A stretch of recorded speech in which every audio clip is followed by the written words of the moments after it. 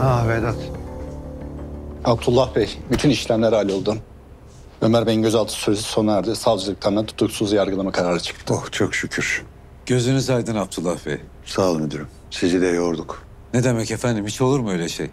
İnşallah bu yanlış anlaşılma en kısa zamanda düzelir. Amin.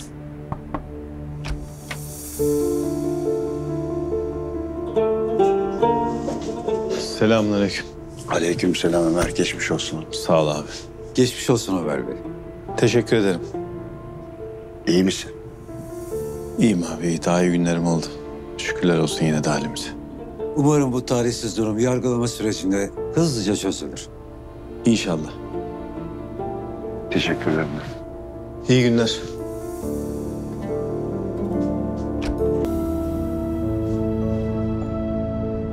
Kıvılcım Hanım'a haber vermeyecek misin? Yok önce oğluma haber vereceğim. Gerçi derstedir şimdi ama olsun.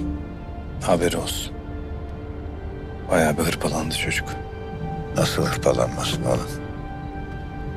Hiç yaşamadığımız şeyleri yaşıyoruz.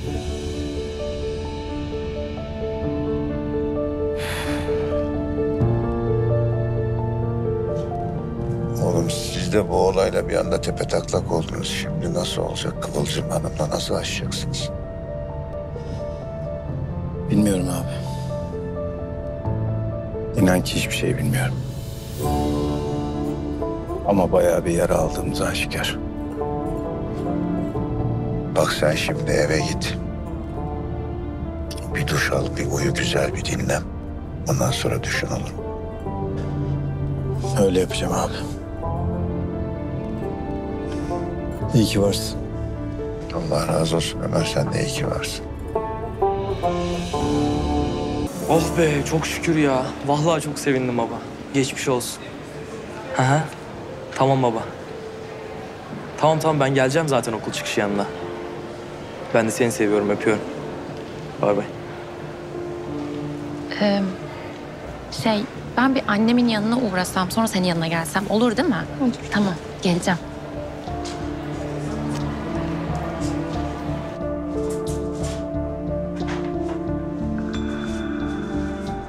Hocam, Gel Çimen'cim. e, Ömer abi çıkmış. Konuştunuz mu? Çıkmış mı? Sen nereden duydun? Beni hiç aramadı. Ben Metehan'la telefonda konuşurken duydum. Yani gidip soramadım ama duydum. Malum bizden nefret ediyorlar. Tamam Çimen'cim. Sağ ol. Sen konuşmadın mı? Niye konuşmadın? Arar o beni. Ya da ben de ararım. Anne siz ayrılacak mısınız? Çimen'cim hayır nereden çıkarıyorsun bunu? Öyle bir şey yok. Umarım. Hadi sen dersine git. Tamam, konuşuruz.